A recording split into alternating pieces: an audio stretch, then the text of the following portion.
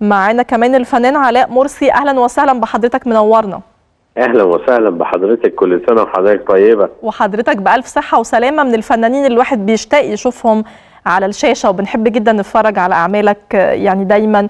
يا فندم ده خلطة النجاح. خلطة. النجاح في أبو نسب. اولا أنا اولا بقول لكم كل جميعا كل سنة وأنتم طيبين. كل سنة وبلادنا الجميلة مصر والوطن العربي والعالم كله بخير وصحة يا رب وأمن. يا رب اللهم أمين. آه أنا سعيد ابو نسب جدا لأنه اولا أنا اولا أنا من عشاق الزعيم عادل إمام ومن مريدينه ومن يعني من من من جمهوره اتربيت آه، على حبه وحبيت الشغلانة أنا وجيلي منه. مم. و- آه، ولكن إن يسعدني الحظ بإني أشتغل مع رامي إمام آه، إلا أنا عايز أقول أنه انه هو رامي إمام مش عشان هو رامي عادل إمام هو رامي إمام مبدع ومخرج شاطر جدا وإنسان آه، في قمة الأخلاق الحميدة والأدب آه، فأنا سعيد بإن أنا اتعرفت عليه كانسانيا وفنيا.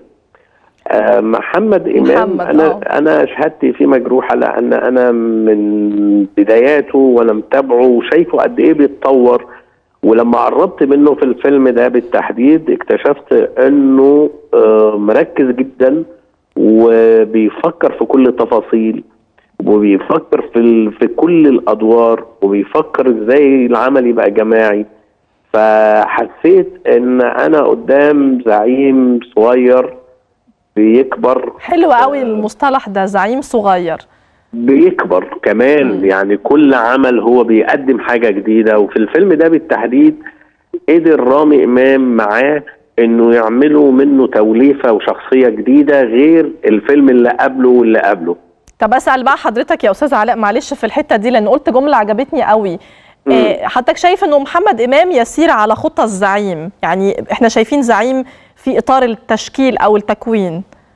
بصي هو كل الأجيال اللي جت بعد عادل إمام كلها عايزة تمشي على خطى الزعيم. أي حد بياخد الزعيم قدوة عشان ينجح. مم. في منهم اللي بيقدر يواصل ويجتهد قوي ويفكر قوي إن إزاي يمشي في هذا الخط إزاي يحقق ال- المعجزة العظيمة اللي هي اسمها عادل إمام اللي موجودة في الشغلانة دي.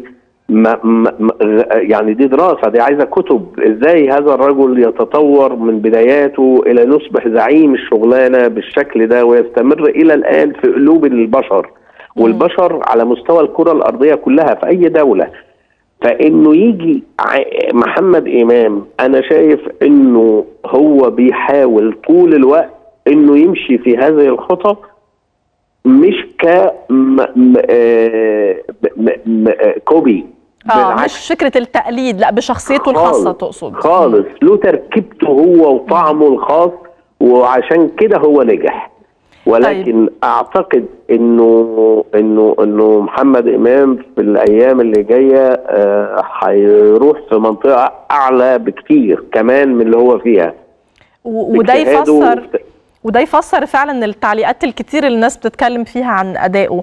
لكن يعني سر نجاح فيلم أبو نسب والإيرادات العالية بالشكل ده حضرتك بتشوفها إزاي؟ إيه اللي خلى الفيلم ده ناس تحبه بالطريقة دي؟ إنه فيلم بيت فيلم عيلة فيلم. حدوتة بسيطة جدا وحدوتة آه آه، رامي تناولها بحرفية شديدة جدا توصل للقلوب على طول تتصدق. ف... ف... وما فيهاش مغالاه وما فيهاش استخفاف بالعقول ولا استخفاف في الكوميدي ولا استخفاف في الأكشن. كان بيعمل كل حاجة يديها وقتها وحقها والإخلاص في العمل ده اللي أنا شفته إن هم عملوه هو ده النتيجة. علاوة على إنه ال- محمد عنده حضور آه، غير عادي مع آه، جمهور السينما. جمهور السينما أو أكتر من الدراما؟ الشباب الشباب الصغير. الشباب آه أكتر أكتر من الدراما؟ يعني السينما أكتر من الدراما؟ لا هو في الدراما ناجح جدا برضه ولكن أنا بتكلم على تحديدا كسينما. مم. آه هو عنده شريحة كبيرة جدا من جيل معين هذا بالنسبة لهم النجم الآخر بتاعهم. هذا فده كمان حبهم ليه وبساطته ووصوله ليهم بالسهولة دي عمل الشريحة دي. زائد الفيلم آه زي ما قلت لحضرتك فيلم بيت. يعني فيلم مش مش مش الفيلم مش اوفر يعني مش آه. مش يعني الفيلم بسيط. يشوفوا كل أفراد العيلة. بالظبط ومصنوع حلو جدا كمان. وبعدين أنا عايز أقول لحضرتك على حاجة. أنا يعني بالمناسبة دي أنا عايز يعني أوجه التحية لصناع بقى الفيلم.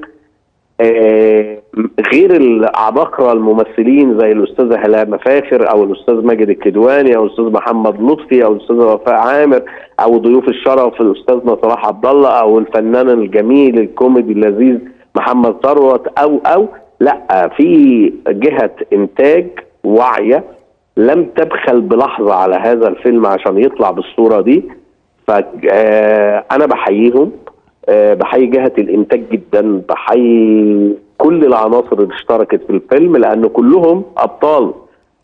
فأنا سعيد بالتجربة دي وسعيد إن أنا شاركت بيها ولو جزء بسيط هيكتب في تاريخي إن أنا عملت حاجة مع هذا النجم الجميل آه، محمد إمام. أنا بشكر حضرتك شكرا جزيلا وكل سنة وأنت طيب يا رب وبالصحة والسلامة.